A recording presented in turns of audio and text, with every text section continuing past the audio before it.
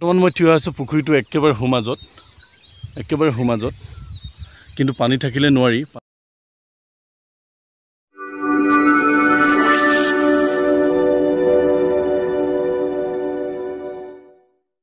Hi everyone welcome to my আনাডা vlog after a long time and very very good morning to all and today is Sunday means I think funday and আজি আছোঁ কালি নাই জীৱন বোলে দুদিনীয়া হাৱাই চেণ্ডেলৰ ফিটা কেতিয়া ক'ত ছিঙি যায় বোলে কোনো নাই ভৰসা।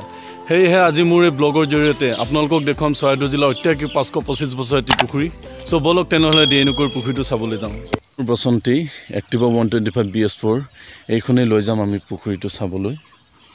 ইয়াত চাবি লগাই থোৱা আছে। ফাইনেলি ষ্টাৰ্ট হৈ গ'ল। Then let's go' with me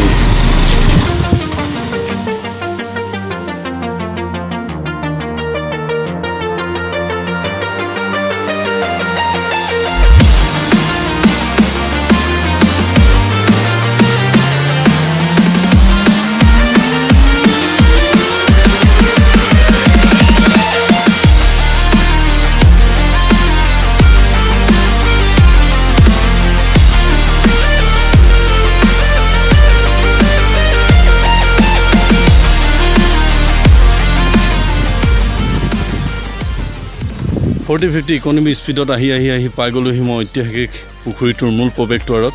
কিন্তু মূল প্ৰৱেশদ্বাৰত কাটাটাৰ মাৰি থোৱা আছে ভাৰত পাকিস্তানৰ সীমান্তৰ দৰে। কিন্তু তথাপিও কিনাৰ ফালে এটি ৰাস্তা আছে। সেই ৰাস্তা দি মই সোমাই যাম। বৰ্তমান মই য'ত থিয় হৈ আছোঁ এইখন হৈছে বৰপাত্ৰ চাহ বাগিচা। আৰু এই চাহ বাগিচাৰ মাজতে আচলতে পুখুৰীটো অৱস্থিত হৈ আছে। ইয়াৰ পৰা মই ছয় সাতশ মিটাৰমান খোজকাঢ়ি যাব লাগিব এতিয়া। ইয়াৰ পৰা মই এতিয়া খোজকাঢ়ি যাম। এই পথটো আচলতে অসম চৰকাৰৰ গড় কাপ্তানি বিভাগৰ ফালৰ পৰা পুখুৰীটো সংৰক্ষণ কৰাৰ উদ্দেশ্যে পকীকৰণ কৰি দিয়া হৈছে যাতে মানুহবিলাকে সুন্দৰকৈ অহা যোৱা কৰিব পাৰে পুখুৰীটো চাবলৈ যাব পাৰে আৰু পাৰে পাৰে এইবিলাক বৃক্ষৰোপণ কৰা হৈছে। এইজোপা হৈছে দেৱদাৰু গছ। পাৰে পাৰে বহুতো দেৱদাৰু এনেকৈ শাৰী শাৰীকৈ গছ দিয়া হৈছে।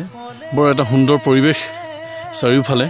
সেইফালে আছে ওখকৈ পাটকাই পৰ্বত আৰু এইফালে আছে চাহ বাগিচা। প্ৰায় মই পুখুৰীটোৰ ওচৰত পাইছোঁহি। আৰু অলপ দূৰ গ'লে মই পুখুৰীটো পাম।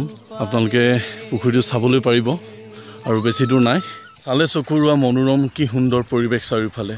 মাথো সেউজীয়া আৰু সেউজীয়া। এই চাহ বাগিচাৰ এই পৰিৱেশটো দেখিলে আচলতে মোৰ এটি গীত মনত পৰে বিশেষকৈ। গীতটো দুটা কলি মই আপোনালোকক গাই শুনাই দেখাইছোঁ। ওখ ওখ চিৰিছে। নিচে চাহি গাছ, মোর গৈরাম তুলিছে কাঁচা কাঁচা পাত। বারে বারে বারে বারে বারে বারে গৈরাম পিনে নজৰ চলি যায়। উইগিলা লাগে উঁচা উঁচা চিৰিজ গাছ আৰু নিচে চাই গাছ কাছা কাছা পাত। এখনতো গৈৰাম বাগানে নাই আহে গৈৰাম এখনতো ঘৰে আহে। ফাইনেলি মই আহি আহি আহি পাই গ'লোঁ সেই ঐতিহাসিক চৰাইদেউ জিলাৰ কনচেং বৰপাত্ৰ গোহাঁই পুখুৰীৰ পাৰত। আৰু মই আপোনালোকক যিহেতু পুখুৰীটো দেখুৱাম বুলি কৈছিলোঁ আৰু সেইটোৱে আচলতে পুখুৰীটো। আপোনালোকে চাওক। আৰু সেই পুখুৰীটোৰ থ্ৰী ছিক্সটি ডিগ্ৰী ভিউ এটা দেখাবলৈ চেষ্টা কৰিছোঁ আপোনালোকক।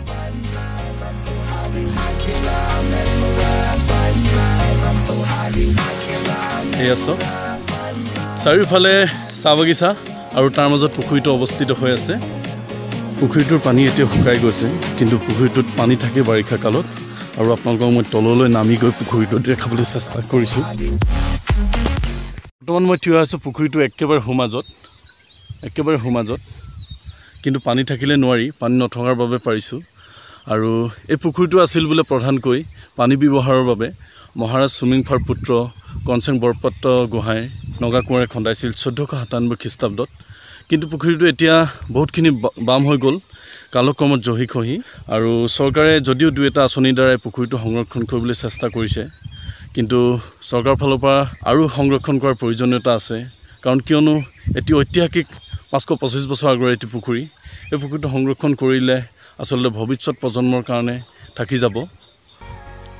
এইটো আছিল পুখুৰীটো। পাৰতে আছে এজোপা আম গছ। এখন আচলতে পকাৰ ষ্টেপ বনাই দিয়া আছে মানুহ আহিলে বহিব পৰা। কিন্তু ইয়াত কোনোবাই আহি ফাকুৱাৰে লিখি থৈ গৈছে happy Holi I think it is not fair আৰু সেই বাগানৰ ওখ ওখ গছবিলাকত বিভিন্ন ৰঙৰ বিভিন্ন প্ৰজাতিৰ চৰাই পৰি থাকে। এতিয়াও পৰি আছে। পুখুৰীটো প্ৰায় বাৰিষা কালত যেতিয়া পানী থাকে বন কুকুৰা শেৱালি হাঁহ বগলী বিভিন্ন চৰাই চিৰিকটি আচলতে ইয়াত পৰি চৰি থাকে আৰু সেই ওখ লঠঙা গছজোপাতো কেতিয়াবা কেতিয়াবা ধনেশ পক্ষীও পৰি থাকে।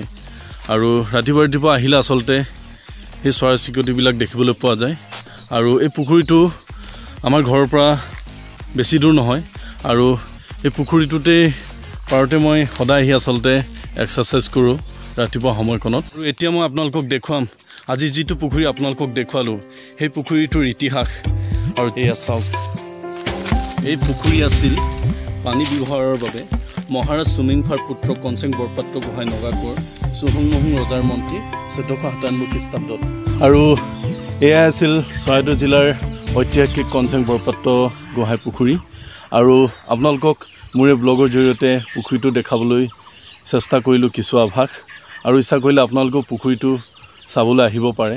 বৰ সুন্দৰ ঠাইত আচলতে অৱস্থিত হৈ আছে আৰু ইয়াৰ প্ৰপাৰ লোকেশ্যন বুলি ক'বলৈ গ'লে চৰাইদেউ জিলাৰ বৰহাট অঞ্চলৰ ডাঙৰকুমাৰ গাঁৱৰ কাষতে থকা যিখন চাহ বাগিচা বৰপাত্ৰ চাহ বাগিচা আৰু মেইন ৰোডৰ পৰা ছয় সাতশ মিটাৰমান আপোনালোকে খোজকাঢ়ি আহিব লাগিব।